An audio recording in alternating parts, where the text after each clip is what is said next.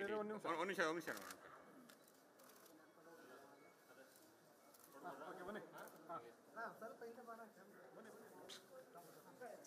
ಕ್ಯಾಮ್ರಾನೇ ಬರ್ತದಪ್ಪ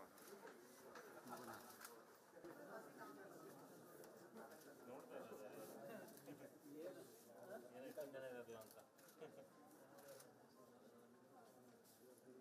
ನೋಡೋದ ಚೂರು ಇದೆಯಲ್ಲ ಇದೆಯಾ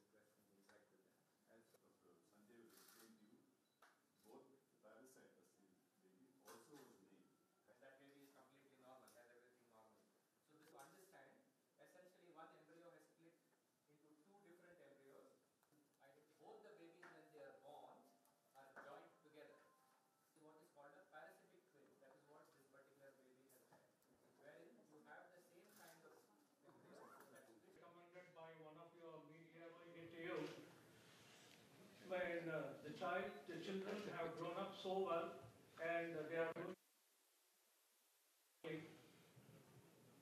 And uh, I will request Dr. Ashley DeCruz to tell us how we have taken the decision to do the what are the achievements that they have done.